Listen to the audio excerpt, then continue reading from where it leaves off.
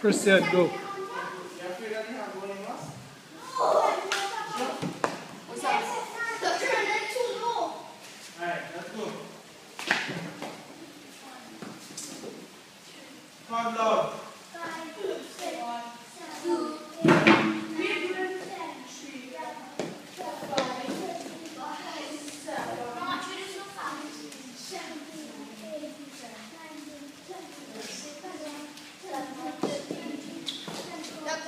He must get his hands together.